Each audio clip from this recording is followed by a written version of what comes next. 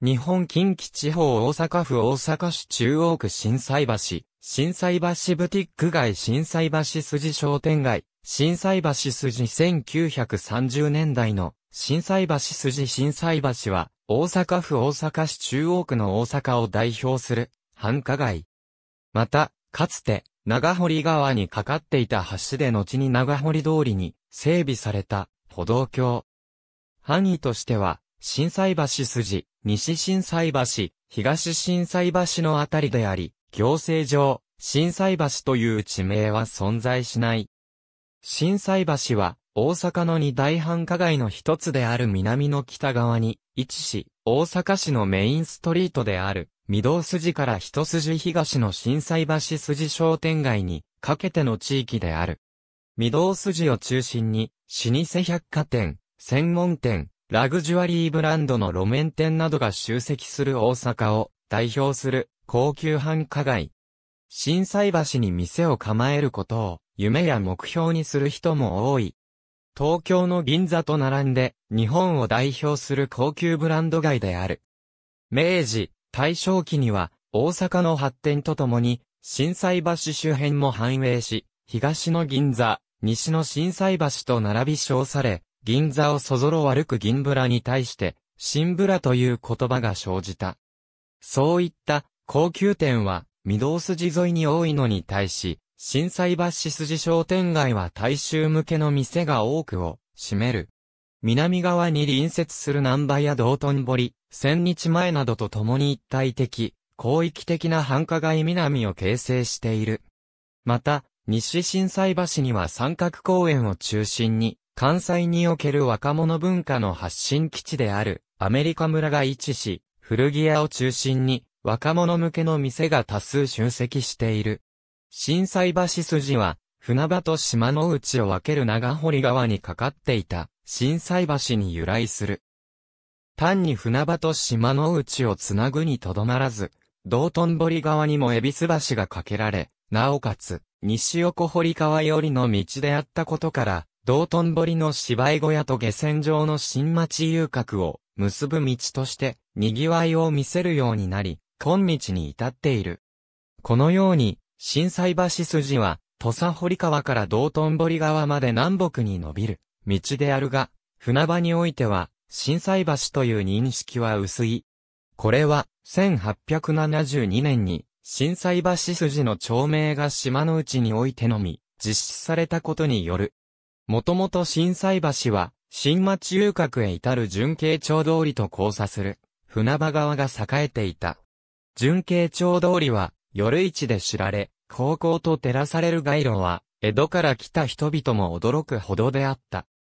しかし、松島遊郭の誕生や大化によって、新町遊郭は衰退、消失してしまい、南海南波駅や港町駅の開業、大丸や十号といった呉服店による百貨店経営の開始などにより、明治以降は島の内側が栄えるようになった。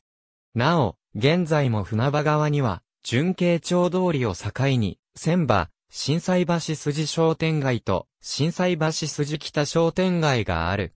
1989年に、島の内の内境筋から、畳屋町筋間が、東震災橋、御堂筋異性が西震災橋という町名になった。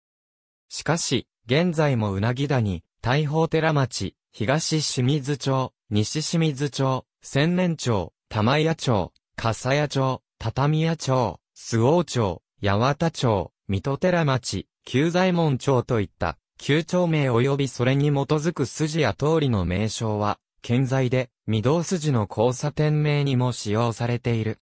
東震災橋及び南接する総右衛門町は、歓楽街として南と呼ばれることが多いが、このエリアでは、店舗や居場所の特定に、旧町名が頻繁に用いられている。また、西震災橋の周防町筋周辺は、アメリカ村と通称されている。大丸震災橋店本館、南館震災橋パルコアップルストア、震災橋ホテル日光大阪いずれの3駅とも、徒歩圏内にある。鉄橋の震災橋を、南から石造橋の震災橋を、北からクリスタ長堀の上に復元された震災橋を、南から、鶴見緑地公園に現存する鉄橋の震災橋。震災橋はもともと、長堀川にかかっていた橋の名前である。1622年に長堀川の開削と同時に、架けられたというのが有力な説であり、震災警府によると長堀川を開削した4名のうちの一人、岡田震災が長堀川の両岸を町域とした長堀震災町の往来の便のため、南北に橋を架けたことが名前の由来になっている。当時の震災橋は長さ18軒、幅2軒半の木橋だった。人通りの多い地域にあった木橋で傷みやすく、洪水や火災の被害も受けるなど、維持管理に多くの資金が費やされたという。その後、1873年に元木正造の設計によって鉄橋に生まれ変わる。ドイツ製で、大阪で2番目、日本で5番目の鉄橋だった。当時の人にとって鉄橋は、非常に珍しく、大阪の人の間で話題となり、錦絵にも描かれた。この鉄橋は、鶴見緑地公園の緑地西橋として現存する。1908年に震災橋としての役割を終え撤去された後、境川運河の境川橋、1928年に大和田川の新鮮船橋と移設を重ね、1973年に鶴見緑地に鈴掛橋として保存され、1989年に現在地に移ったもの。日本現存最古の鉄橋と言われている。1909年には野口孫一の設計によって石像橋に架け替えられ、壮大な渡り染めが行われた。